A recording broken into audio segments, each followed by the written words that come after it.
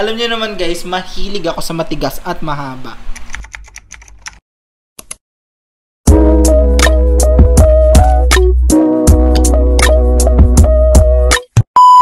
So what's up guys? Heto na naman ako nagbabalik at patuloy pa rin babalik. Hindi katulad ng jowa mo, hindi na bumalik. Hindi katulad ng jowa mo, hindi na bumalik. Paano masabi? So kung bago ka pa lang sa aking YouTube channel, don't forget to like, share, subscribe at hit the notification bell para mo-notify kayo if ever na may mga bago akong upload na videos. So for today's video, mag-unbox tayo ng isang product na napakahalaga sa mga content creator na kagaya ko. So by the way, hindi pala siya unboxing. Unwrapping pala siya kasi nga nakalagay lang siya dito sa plastic, sa plastic. Sa plastic. And etong product na to, dumating siya kaninang umaga, tapos ngayon ko lang siya finilm. And today is July 16, 2020. So guys, mukhang alam nyo naman na kung ano yung laman nito kasi nakalagay na siya dito sa title sa baba. So last time, ang ginawa natin ay nag-unboxing tayo ng iPhone 6s. At kung hindi nyo pa pala napanood yung unboxing ko na yun, ilalagay ko na lang siya dito sa description box, yung link niya para mapanood nyo siya kung meron kayong time. So by the way guys, bakit ko nga pala binili tong product na to? Since meron naman na akong microphone na ginagamit, ito siya yung ginagamit kong microphone. Pangalan nito ay BM800 condenser microphone at nabili ko siya sa Lazada worth of 300 plus. At ayun nga, umuulan na. Hindi ko alam kung maririnig nyo pa rin ako hanggang ngayon. Kasi nga malakas yung ulan dito. Pero okay lang yun guys kasi naka microphone naman ako. Binili ko nga pala to um, clip-on microphone. Yung sa BM800 kasi sobrang laki niya. Tapos hassle siya dalhin kahit saan. So bumili ako ng clip-on microphone kasi gusto ko rin yung Ay no! Ay no! Ay nahula! So, nahulog yung BM800 ko kasi wala siyang stand. Hindi ko pala siya binilahan ng stand noon. Kasi yung BM800 lang yung binili ko. So, binili ko nga pala tong clip-on microphone kasi gusto kong maranasan yung mga, kagaya ng mga reporter na meron silang microphone dito. Yun, gusto, wala, gusto ko lang siya maranasan. Parang kasi ang ganda-ganda. So, eto guys, nakalagay pala siya sa plastic yung ating clip-on microphone. Tapos, kanina siya dumating at ngayon ko siya vinlog ngayong hapon since marami kaming ginagawa kanina. And then, bago pala umalis yung nag-deliver ng product na to is binuksan ko na pala siya guys. Ito binuksan ko siya, chinek ko siya kung maayos yung product, kung, kung gumagana siya. Ayun, gumagana nga siya. Tapos dito sa plastic, kapag binuksan mo siya, yung B ay ano na to, BM800 na to. Seriously, what the fuck are you doing? Yung ano, yung clip-on microphone na agad yung makikita mo. Hindi siya na naka-bubble wrap. Kasi ine-expect ko nga na naka-bubble wrap siya, pero hindi siya naka-bubble wrap. Pero maayos naman yung pagkaka ano niya, pagkaka-bubble ay bubble wrap. Yung pagkakabalot niya kahit hindi siya naka-bubble wrap. Tapos, etong clip-on microphone natin nakalagay siya dito sa ziplock. Tapos, eto siya.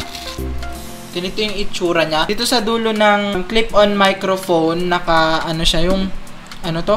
3.5 mm headphone jack. So, pwede siya di, dun sa mga cellphone natin.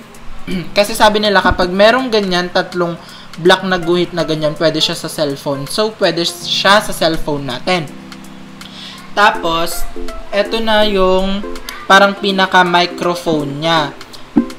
Meron siyang, ang tawag dito, parang yung ball cap, yung parang mag-filter na hangin ba, yon i-filter niya yung hangin para hindi masyadong marinig sa pag-video na. Tapos, yung haba pala nitong clip-on microphone na to. Oh, mahaba siya. Mahaba. Mahaba. Ayan guys. Mahaba siya. Actually, isang di pa siya. Hindi ko lang siya mapakita ng maayos sa inyo. Tapos, yung clip niya, ano siya, metal siya. Yan, metal. So, matigas at mahaba. Alam niyo naman guys, mahilig ako sa matigas at mahaba.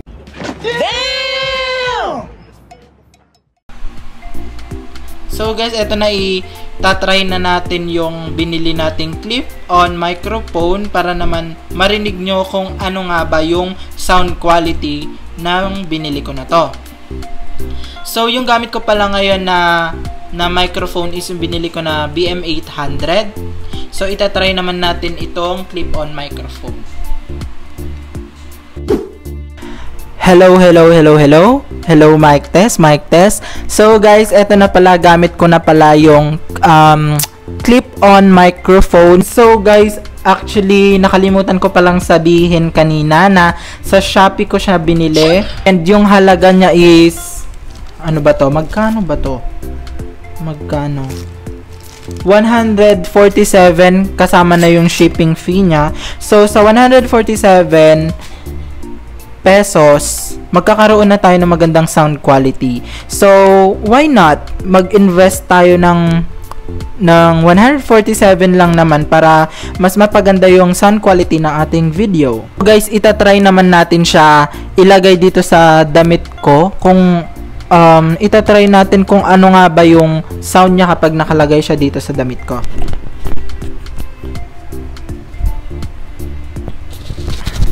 Oh my god, para na akong reporter.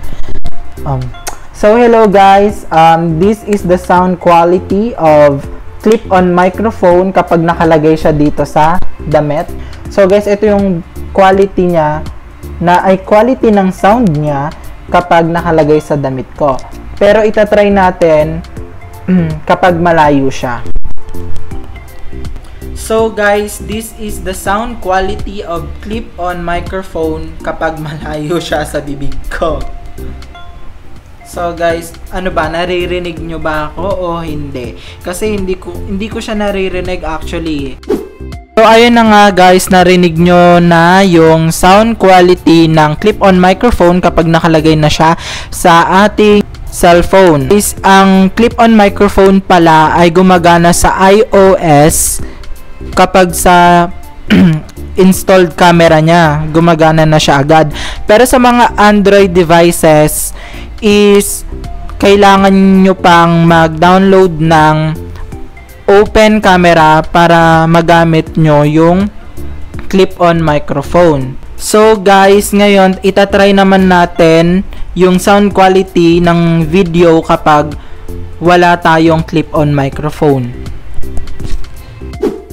So guys, ito yung sound quality ng aking video kapag wala siyang clip-on microphone. ba guys, yung mga noise sa paligid natin, naririnig, yung sound ng electric fan, yung sound ng mga motorcycle, ng mga jeep, ng mga kung ano-ano pa, yung boss ng mga chismosa dyan sa ano, sa labas-labas, dun sa mga ano, palipaligid, maririnig nyo yung mga boss ng mga chismosa. So, kung ayaw nyo marinig yung mga boses ng chismos, ng mga chismosa, sa video nyo, is kailangan gumamit kayo ng clip-on microphone para mawala yung mga boses ng mga chismosa. So guys, that's all for today's video. And kung nagustuhan nyo yung ating review and un unwrapping about sa clip-on microphone, don't forget to like, share, subscribe, and hit the notification bell para ma-notify kayo if ever na may mga bago akong upload na videos. So, bye!